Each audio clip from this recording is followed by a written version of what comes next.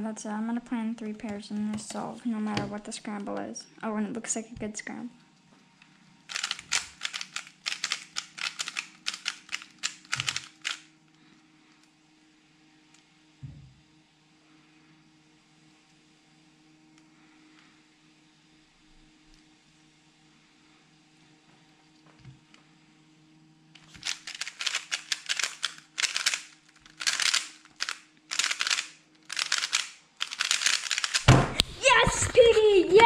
Let's go! 749, baby!